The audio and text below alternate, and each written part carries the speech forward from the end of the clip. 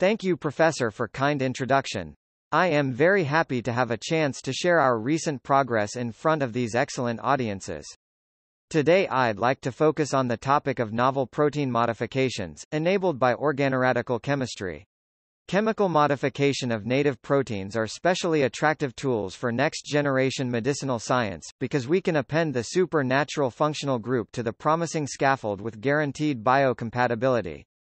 Among them, antibody-drug conjugates, ADCs, are new class of hybrid drugs regarded as one of most promising directions. ADCs are synthesized by chemical conjugation of small molecule to antibody. Of course as shown here, many kinds of applications are expected. But, development of novel chemical modifications is still quite challenging task. The reaction should be carried out under physiological conditions, that require ambient temperature and near neutral pH, in very diluted aqueous media. All of these challenges must be solved by expertised synthetic organic chemists.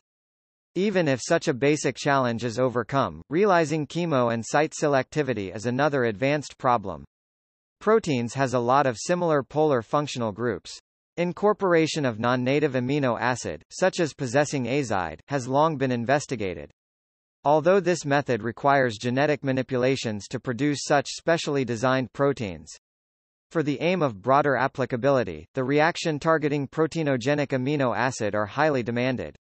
Conventional conditions often targets reactive side chain, especially amine of lysine, or thiol of cysteine. However, lysine is too many exposed on the surface of proteins.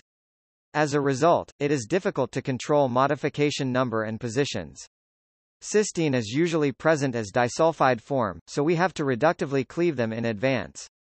This may affect the higher order structure of protein. Targeting less surface exposed, less reactive other amino acid can be a attractive strategy to realize high selectivity, but of course, such reaction is difficult to achieve.